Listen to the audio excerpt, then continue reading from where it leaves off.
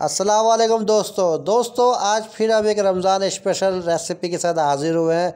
Chicken roll paratha की recipe है, बहुत आसान रेसिपी है, बहुत यूनिक रेसिपी है, ज़बरदस्त रेसिपी है। देखें, हमने एक पाव चिकन के छोटे छोटे पीस ले लिए और इस पर हमने दही भी मिलाया है और अदरक लहसुन का पेस्ट है।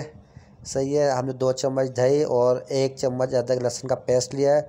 आप इसको अपने हिसाब से बढ़ा भी सकते हैं। इसके बाद देखें चाट मसाला लिया है पिसी हुई लाल मिर्च है, हल्दी, नमक, ये सारा हमने इस पर डाल के इसको मिक्स कर रहे हैं। और मैं आपको पहले भी जैसे बोला है कि अपने हिसाब से ये मैंने तीन से चार पराठों का मैंने मसाला बना रहा हूँ ये। चिकन के पीस लिए अब हम इसको फ्राई करेंगे। हमने देखें ऑयल लिया दो चम्मच ऑयल लिया इस पर हमें जो हमने सारा मसाला बनाया है, चिकन की बोटियाँ, अब हम इसमें इसको पकाएँगे। ये देखें थोड़ी देर हम इसको जो है रख देंगे, पंद्रह से बीस मिनट में ये तैयार हो जाएँगी। दूसरी तरफ़ आप आप पराठा बना रहे हैं। ये हमने ढक दिया ये देखें तैयार हो चुकी है।